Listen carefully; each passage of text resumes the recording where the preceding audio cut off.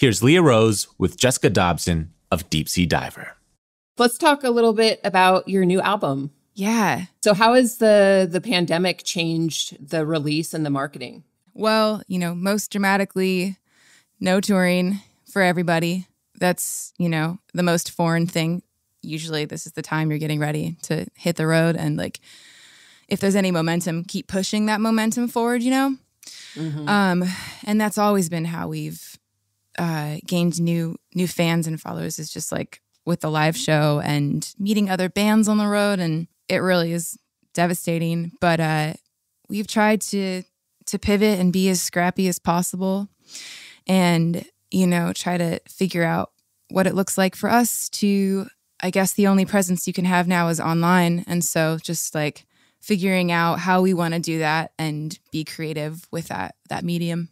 And then have you had to sort of reimagine how you present the live show or even the new music now that everything's just kind of like on Zoom or you're live streaming? Absolutely. Uh, for a while, we were doing like a weekly live stream when this first hit. And Stop Pretending came out of uh, the stay home tours, like live streams that we were doing on Sunday nights.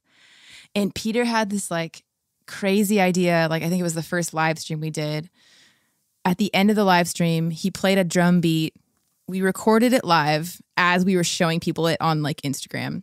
And he said, Okay, this drum beat that I just played, we recorded it and we're going to upload it to Dropbox. Whoever wants to download it, take it and write your own song to it at the end of that week, like people's submissions were due because I was so interested to see, like, okay, obviously everyone has a different brain, different melodic sensibilities.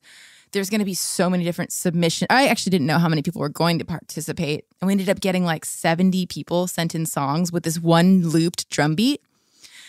And towards the end of the week, when it was due, I hadn't even started writing on that drum beat yet. And I was like, that's kind of lame if I ask people to write, like, write a song, but I don't even do it. Yeah.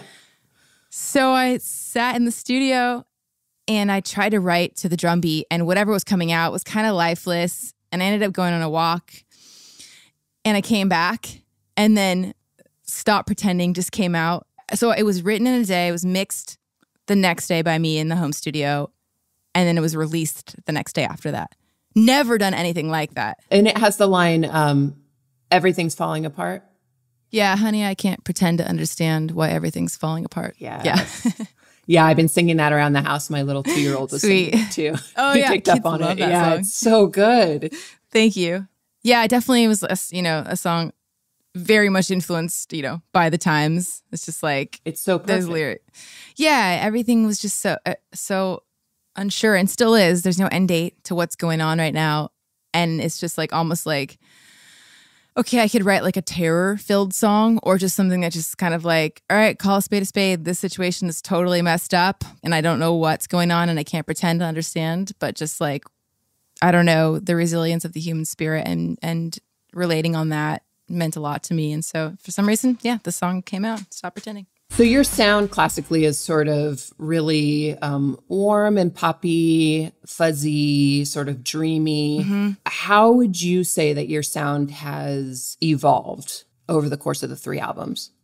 I think that the first album was kind of leaning more into like jangly pop um, with songs like You Go Running, kind of, you know, at the time was influenced more by like Phoenix and the Smiths and um but then also total contrast like a lot of ballads that were darker. I, I love Nick Cave and and so I was kind of just like finding my footing in in the first record. And then the second one I think I I really tried to step out more with like leading with guitar. And so there was a lot more jammy moments and guitar solos and heaviness. And then this record I kind of feel like I I came home again to like some of my my like earlier influences a lot more like narrative storytelling and mm-hmm. songwriting something that I had kind of dismissed for a while or didn't think I was good enough at. And so I think a lot these songs breathe really well and they maybe are not as heavy in terms of like the rock world that maybe Secrets lived in.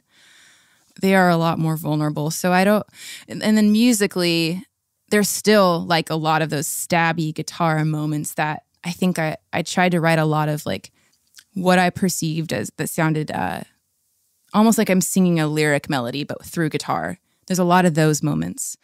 So it's an extension of my voice instead of just like heaviness and loudness and jamminess and feedback and all that. So yeah, it's a lot more m- melodic. Yeah, it's super catchy. You know, I've listened to the album a lot over the the last week and it's like yeah. by the second or third listen, it's like I feel like I'm right there and I know the melodies and they're totally sinking in. Oh, that's awesome. How do you not play a melody that you've already heard from another song? Or how do you even know if you're yeah you know like recreating something unconsciously I, that seems like the hardest part of songwriting i just feel like i would sit down and you know play yeah. like some like something very obvious and well known Totally. There have been moments where I literally have, I mean, I know I have it on voice memos where somewhere of just like being so excited to show Peter, who's my partner in the band, or the whole band, just like, check out this new song. And then someone goes, like, yeah, that's like a Feist song, like that melody right there, or or whatever. Like, um, and you know, something that I'll be so excited about, and I'll just have, I, I just, yeah, be wrapped up in the moment, not even realize that it's like a total rip off. And then other times, I write songs by ripping off melodies, so then I can get into the mindset of that artist, or like literally just like pretending and trying to get out of you know, my headspace. And then from there, having the freedom to make it my own. Yeah, Kevin Parker from Tame Impala was talking about the same thing. Mm. And he was saying when he writes, he often tries to make a continuation of a song. Right. That's like he'll awesome. listen, he was like talking about a beach house song that he was obsessed with. And then he tried to write like the next volume of that song. Yeah, that's a great idea. Anything that helps, like, we just get in our heads all the time and there's so many reasons you know why not to push forward on a song and so all of those little tools are so necessary and helpful so you produced this album right co-produced yep my first one i think i've been producing my whole life without knowing it and without giving it the official title but like or or attempting to produce things but this was the the first official one yeah did you come to it with an overall vision for the project? Uh, I first came to it actually in a, a very scared place.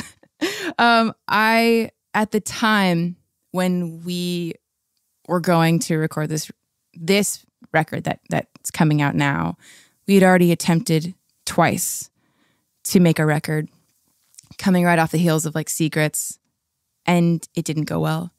And I was in a pretty low, dark place and questioning a lot. And uh, I had finally like I had a couple songs that I saw some sparks in, but I was still in a pretty pretty low place. And Peter came downstairs. I remember one day, and he was like, "I think you're gonna produce this record. You need to produce this record." And I just instantly started crying. I don't know why, but I just was in such a fucked up place, and and just like didn't even have the self confidence that to think that like, yeah, that's a good idea. So was that more pressure? Did that feel like, oh no, now I have two jobs to do? Yeah, I know it felt like, oh no, if I step into that role, like it, this record will never get made or it, I'll overthink it. Um, then it, if it doesn't do well, it will really be all on me because I produced it. And so I there's so much fear wrapped up in that. And uh, for a number of reasons, but like basically in the end, I I was just like, you know what?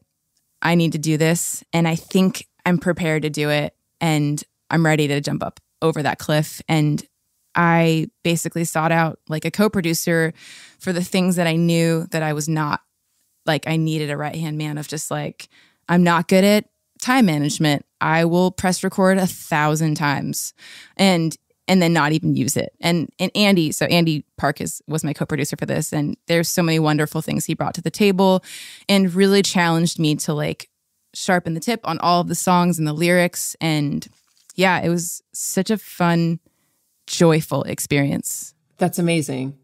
Also, sounds like exactly what you needed to do.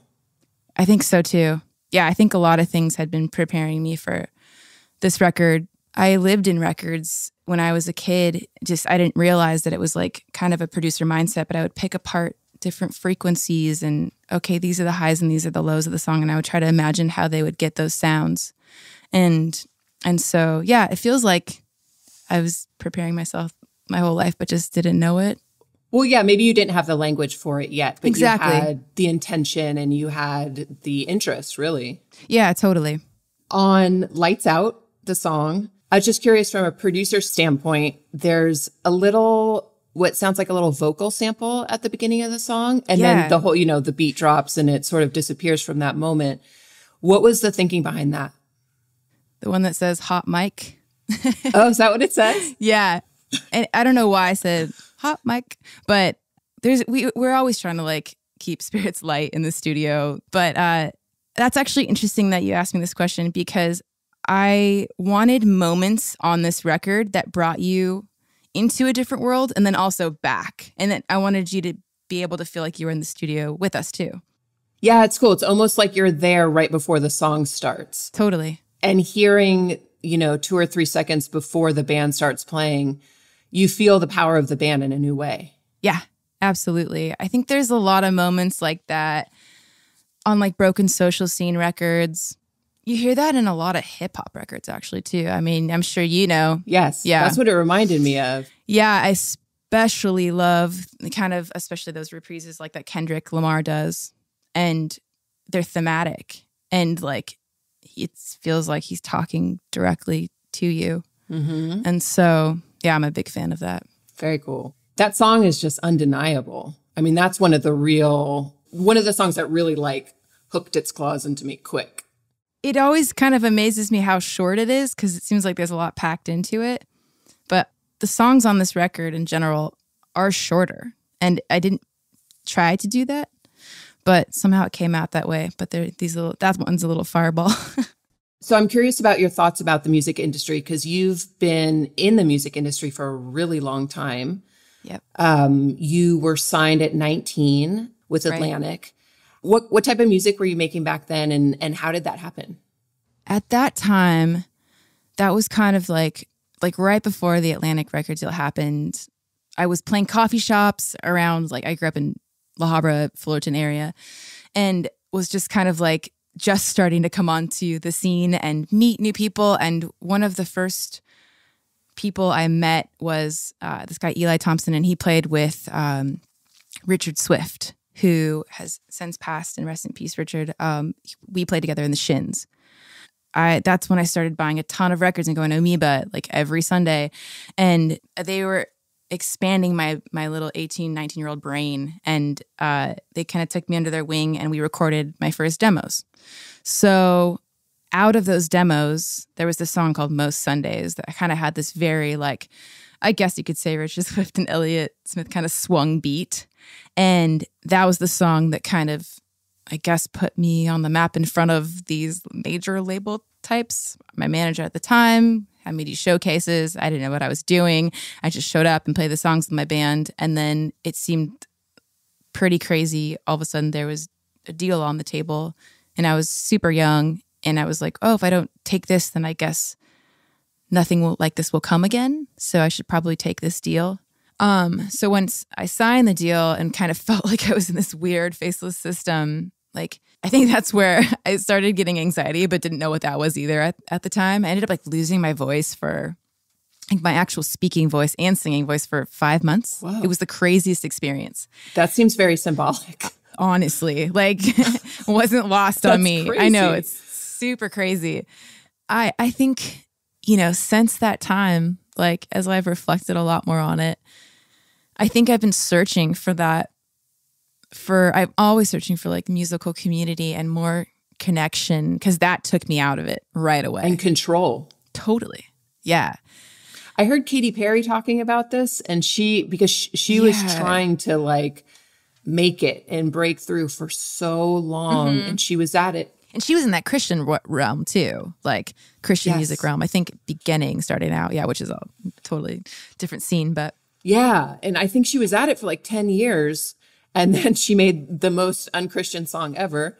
right, Um, I right, kissed a girl, and then and she like totally blew up. yeah. But I think even she was like totally surprised. but I think that's the key, though. You never know when something's gonna Yeah. quote unquote work, whatever that means. And I, I think I think that's a good example because she put in the work. Like it didn't come out of nothing. And whatever she thought was a failure, like set her up for that moment. And and then, you know, you could flash forward today and you know, like it's like nobody can recreate their successes and you go through these valleys and peaks of what success looks like to you as an artist and I don't know, it, it's just kind of so much is right place, right time and this weird alchemy of a ton of things. Yeah. And then what what ended up happening to the deal? I was just so sad. Music, the joy of it was was just absolutely squeezed out of it for me and just having experienced like different kinds of rejection amidst what looked like a big quote unquote success, it was a failure for me and like uh I was embarrassed.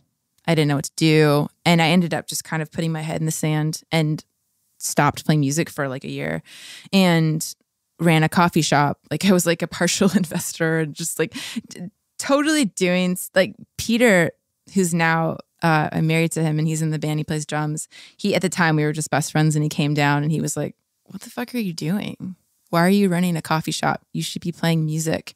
And like totally helped me out of and back into just playing again and find being able to find joy in it. So that was pretty sweet.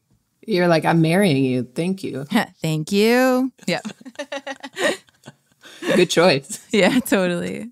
And what's it like collaborating with your husband? How does that change the the dynamic of your relationship? Are you always talking about music at home or or are you able to sort of like compartmentalize those conversations? It's tricky to car- compartmentalize the conversations. Uh we definitely both have the brains that don't know how to shut things we're passionate about off.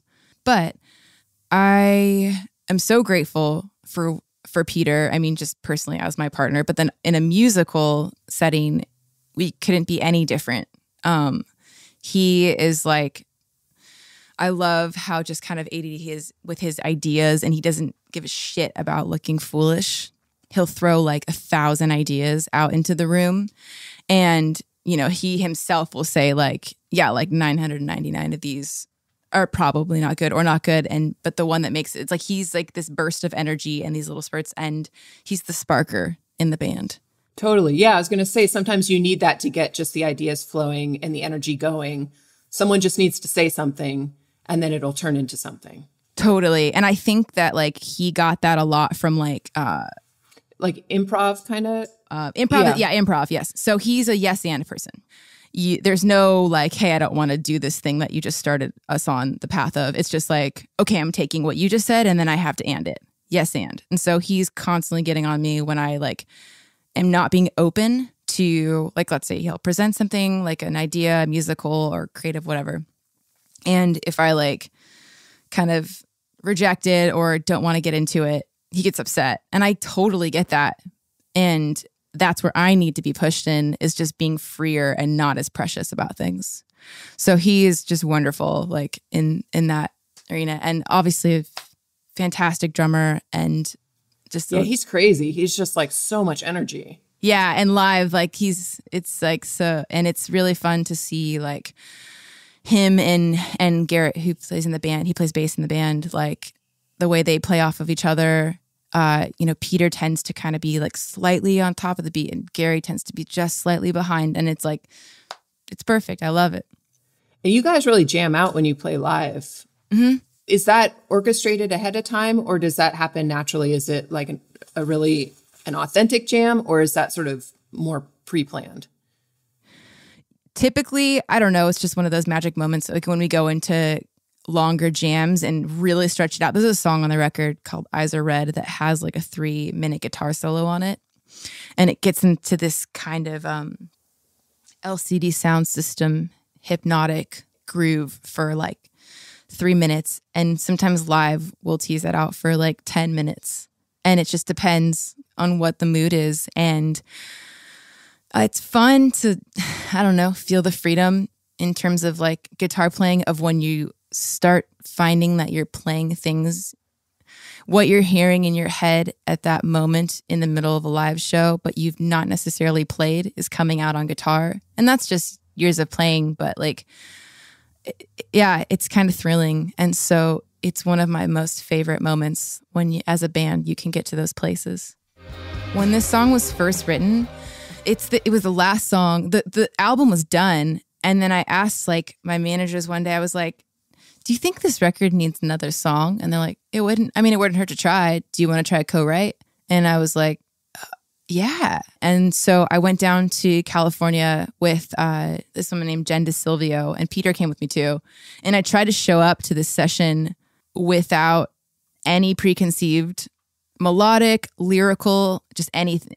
Just try to keep my head super clear. But then my personality really came out like of just like that, oh shit, I don't have a plan B. And so these without me trying, this lyric just came out in my head. I was like in the shower before we got there and I was like, but that was then and this is now. And I just kept hearing that lyric over and over. And then when I got to the to Jen's studio, we hopped into it pretty pretty much right away and she was playing this thing on piano and i think out of nervousness i started playing my guitar and that's where the and she looked at me and she pointed and she was like yep there it is. Because she was writing something totally different. And then i mean that's the gifting of a songwriter i guess when you're in that world is just you know where to point the energy. Mm-hmm. and she just totally honed in and she's like what is that? And i was like i don't know. I've never played this before ever. also, the gift of collaboration, because if you were alone, you might not have, that could have been totally a throwaway. 100%. I just was so, it was one of those just magic moments of like being in the room, seeing this song come out in like two hours, not a thing was changed after the fact. And then how did Sharon Van Etten get on it? Oh, I love Sharon. Uh, Me too. She, yeah, she's one of she's my incredible. favorites. She really is. And so okay, so her brothers were fans of Deep Sea Diver for like the last three or four years, I think. And I remember like a long time ago being tagged by one of her brothers and seeing this thing on Facebook or something like, "Hey Sharon, this is the band I was telling you about." And I was like, "Is that Sharon Van Etten?" Like, holy shit. Okay. Um, and then then you know I f- didn't think about that for a while, and then she had this record coming out, which was "Remind Me Tomorrow," and I heard the first I think it was the first single, Jupiter 4. And I was just like, holy shit, I love this song. And I don't know what compelled me. I just wrote her on Instagram. And I just told her how much I respected. I so kind of like in the same vein of like Feist, Patti Smith, Cat Power, Neko Case. There's so many like women that I love and respect that create their own timelines for how they want to do things. And there is a total similar thread between all of them. They're, they're, they're people of like great substance. She's one of those women. Yeah. And I said, thank you. Like, you know, cause she stepped away for a second to, to go to school. She had a kid. It's like all these things that are like in terms of industry standards and how you do things and release a record every two years and come back. Okay, right. Start writing and do it again. Like that's a huge finger in the face. And I want to be that example too of just like, no, you don't have to follow those rules. And so I saw that in her and I just said thank you. So then a couple months later, she was coming through to the Neptune at, in Seattle. And I I went to that show and then I, I think I like tagged her on Instagram and in a story. And I was just like, there's nowhere else I'd rather be besides here the night before we finish our record. And then the next day we went to the studio to record Impossible Weight. And as we were recording it, I, I was I asked myself, I think it was internally at first, I was like, man, it would be so cool if Sharon sang on this. And then I was in the bathroom and Peter he just yelled, he's like, Sharon messaged you. I was like, what? And so I I just went out there and and she said the most just the most kind words. And eventually I asked, I was like, hey, like I have this song. Do you want to hear it? If you wanted to sing on it, let me know. Like here like I'm totally, totally up for whatever. Just like, and if it doesn't speak to you, forget I asked. I find it was like midnight, like one night, month, like a few months later, and I and a little message came through, and it was like, I can do this, and I'm super stoked, and I I was just so excited that it worked out. All right, let's talk about Switchblade a little bit. Yeah, it's written in third person. Who who are you talking about? I think it's kind of like a mixture of a lot of stories that that I heard firsthand at the Commons with the, the women I was spending time with. So, this organization that I started volunteering at is called the Aurora Commons, and it's a safe place for our unhoused neighbors, those that are drug dependent, um, involved in sex based work on the street. And it's a place where you can come. You don't have to be free of drugs, um, and you, there's you're treated with dignity and respect. And I was so drawn to this place because I hadn't found anything like it. And I live off of Aurora, which is like a highway, um, kind of that runs parallel to the five freeway in Seattle. And a lot of the women, you know, work on the streets uh, by where I live. And you walk by, I walk by them every day. And you, you know, we're constantly passing people every day and we have no idea what their stories are. And we make assumptions and and put labels on people and it's just it's such a disservice to to ourselves and others. But we do have that kind of common thread like that it's harder than you think line. Like it's hard to receive. It's hard to receive other people's help. I need other people's help. Like we're all in the same boat. We all carry, like I said, like these little traumas around with us or large traumas and that can feel so suffocating. And I wanted to write a song just like I hear you and you are important and you belong here. At the beginning of the record, it seems like you are in a really low place. Yes. And then you must be able to build up your confidence if this is the first time you're producing an album. You have to write all these songs. I imagine totally. you write a lot of the instrumental parts as well. Yeah. So that's a huge accomplishment. Thank you. And so I'm just wondering like coming out the other side of that has has that actually helped how you're feeling? Yeah, it it did. And like it's just that, you know, the paradox of like you think if you dismantle things and kind of like strip everything away that it's going to be this naked crazy place where um, you might not push through and then you're left looking kind of foolish. But i think that by kind of dismantling meaning like getting lower getting into the dirt like allowing uh, myself to be more compassionate to myself and others and vulnerable like in that process like it felt really joyous instead of scary as it was happening. And I think right now I'm just like reveling in the the joy of what we created and just being thankful for that. Well, thank you for being so gracious with your time and thank you for for sitting down and, and talking. It was so much fun. Oh my gosh, the feeling is mutual and I really appreciate you asking me to be on the show. Thanks to Jessica Dobson for opening up about her creative process with Leah. You can hear Deep Sea Diver's new album, Impossible Weight, along with some of our other favorite Deep Sea Diver tracks on a playlist at brokenrecordpodcast.com. And be sure to subscribe to our YouTube channel at youtube.com slash brokenrecordpodcast. There you can find extended cuts of new and old episodes. Broken Record is produced with help from Leah Rose, Jason Gambrell, Martin Gonzalez, Eric Sandler, and is executive produced by Mia Lobel. Broken Record is a production of Pushkin Industries. And if you like Broken Record, please remember to share, rate, and review our show on your podcast app. Our theme music's by Kenny Beats. I'm Justin Richmond. Peace.